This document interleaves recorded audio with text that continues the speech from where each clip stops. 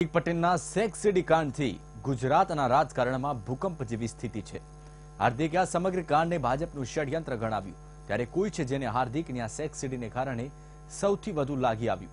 જી હા, અમે વાત કરી રહ્યા છીએ જિજ્ઞેશ મેવાણીની, જેઓ હાર્દિકની સેક્સ સીડી કાંડને લઈને બરાબર ના અકળાયા છે.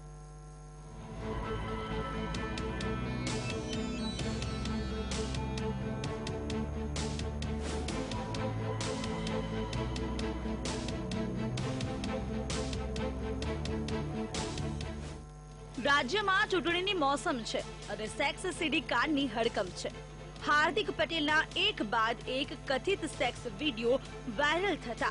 પાટીદાર આગેવાનો સત્તામાં છે અને સીડી કાંડ પાછળ ભાજપનો હાથ હોવાનો આરોપ મૂકી રહ્યા છે.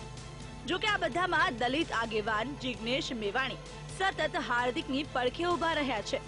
જિગ્નેશે પહેલા ટ્વિટર પર હાર્દિકને સમર્થન જાહેર કર્યું. પછી તેણે વોટ્સએપ પર એક સંદેશ વાયરલ કરીને હાર્દિક મામલે ભાજપ પર નિશાન સાધ્યું. આમ છતાં હાર્દિક પર નહીં, પરંતુ જાણે કે પોતાની જાત પર જોખમ હોય એમ જિજ્ઞેશ મેવાણીએ પ્રેસ કોન્ફરન્સ પણ કરી. ત્યારે હાર્દિક મામલે જિજ્ઞેશની આ અકળામણથી કંઈક કેટલાય સવાલો ઊભા થાય છે. અમદાવાદમાં પત્રકાર પરિષદને સંબોધતા જિજ્ઞેશે હાર્દિકની સીડી મુદ્દે ભાજપ પર આકરા પ્રહારો કર્યા.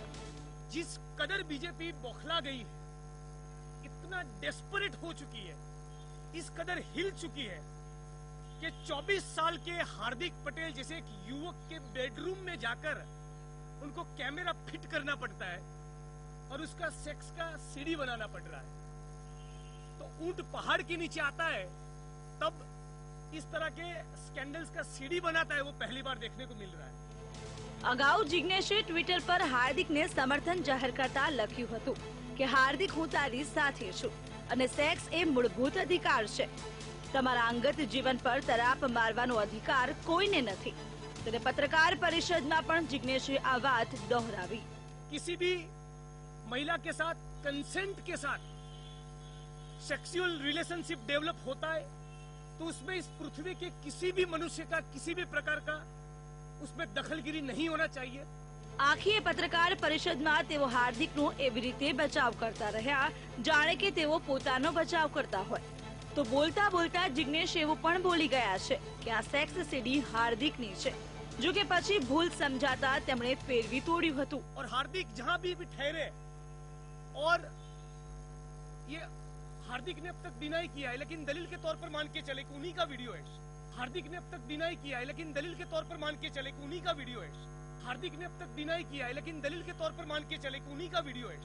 यदि ऐसा मान के चले, या जिसका भी वीडियो है, उसके कमरे में जाकर इस प्रकार का कैमरा फिट करना स्पाई कैमरा लगाना, और फिर इस वीडियो को इस तरह से सर्कुलेट करना, वो दिखा रहा है कि इस बार गुजरात में भाजपा की सरकार विकास के मुद्दे पर बात करना नहीं चाहती।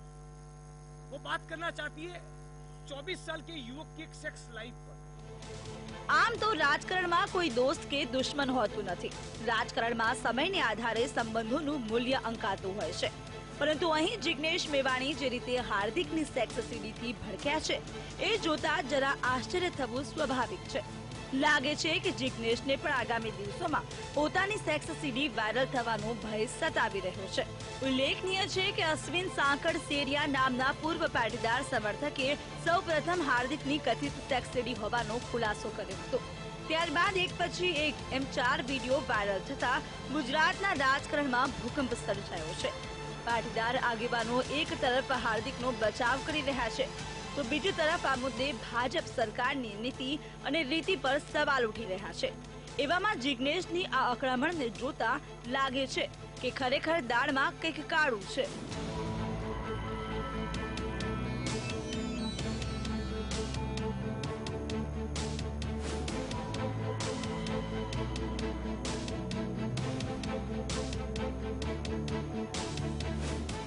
Bureau report, VTV news.